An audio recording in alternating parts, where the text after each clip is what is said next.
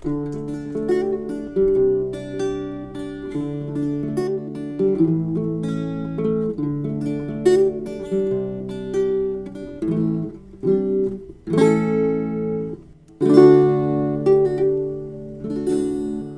one of the reasons I got the 3D printer, actually the main reason, was to be able to produce little objects uh, every now and then that we need in the construction industry that are kind of custom in size and shape.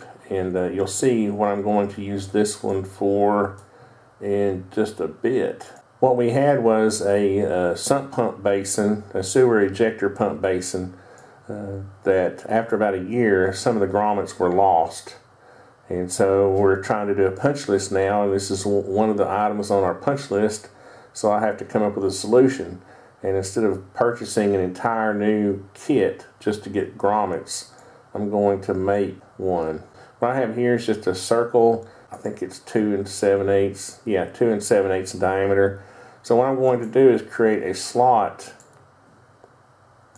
uh, and then print two of them and you'll see that when we do this we'll actually be creating a, uh, a grommet that we can use to seal up this hole. Okay so that's the center line. So I want to come back a quarter of an inch and put some little eighth inch holes. Just even if it was just something to um, be able to start the screw in. Now I can get rid of all this stuff. Not sure what that little thing was. Little booger. So now we can bring this up. Oops. Let's see. Let's bring these little holes up. Hmm. What happened to my holes? It's like they didn't get intersect faces with selection. Now let's see if I have a, there we go. I'm just going to bring those up and I'll put them back down after, after I get my thickness. I'll make this 1 16th. And now what I can do is I can actually take those holes back down and get rid of them like that. Cool. So now I can print two of these and I'll have my grommet.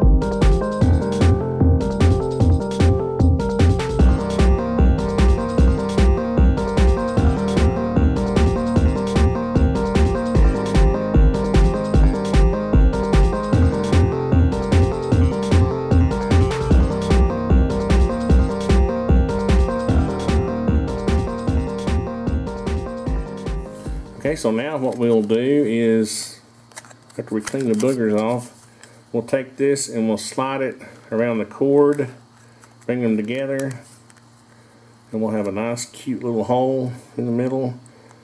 We'll run a screw through these holes into the uh, catch basin, and I'll show you uh, when I get to the job how that's going to work.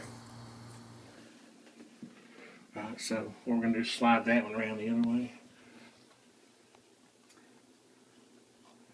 That looks like it's going to fit good, doesn't it? Yeah, it looks perfect.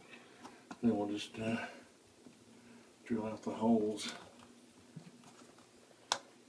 And do that.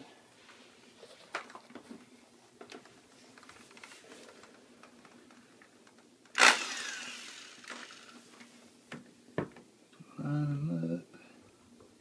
I didn't put my glasses on, of course. well, now. Did it go through? It, it uh, yeah, it didn't go through anything. Is that not on the lip of the? That- That one may. Let's see what we got here. Let me see how big these uh, heads are. I can barely.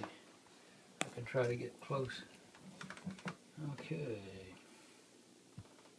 Right about Yeah, they're really close. Yeah.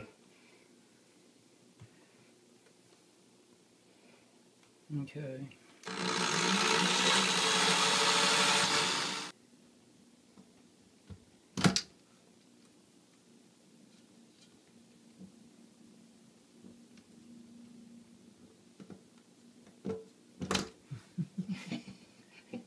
Anybody's watching it always does that.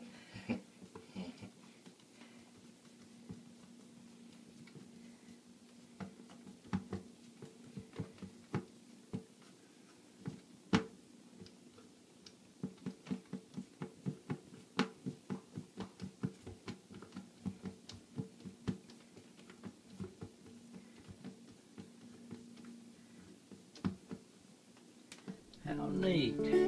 good.